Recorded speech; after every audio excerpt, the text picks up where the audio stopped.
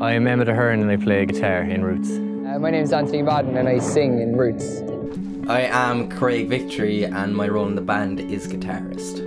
Music to me is a form of release. It's a release of tension. It's a form of like building up memories, writing about stuff that's important to me. Music's like a hobby and kind of just a passion since I was about 14. First album I bought was probably Borderlands by uh, the Gorillaz.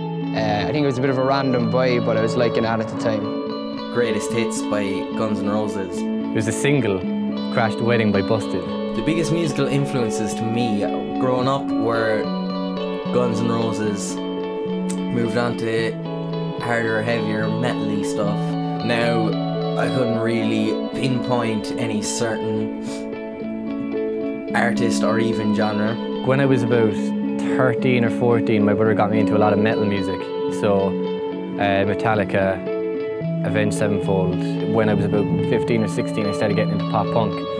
So um, nowadays, like Neck Deep, As It Is, uh, and then just rock-wise, Mallory Knox, uh, Lower Than Atlantis, Twin Atlantic. I feel you have to keep an open mind if you want to write music that's kind of slightly interesting. In the early days when we started the band, we had this gig on the back of a truck and it was moving through the town that we're from. And uh, Emmett, the guitarist, uh, he was standing there when the truck hit the brakes and he ended up tripping over and hitting the drum set. And uh, it was a bit of a disaster, but it was funny to look back on. The fondest musical memory for me was probably with my old band the first time actually recorded a piece of music outside the room that we practiced in.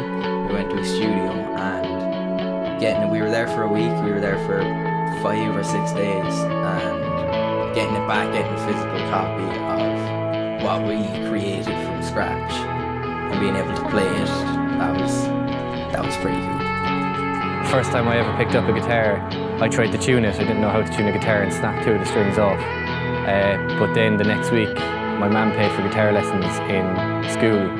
While singing, yeah, I was self-taught in a way. I tried to learn guitar and piano and it just didn't go well. But um, I think a lot of like vocal warm-ups and stuff like that, I looked online, the likes of YouTube and stuff. I started on drums. All I wanted to do was just bash out a, a bit of music, play along to something.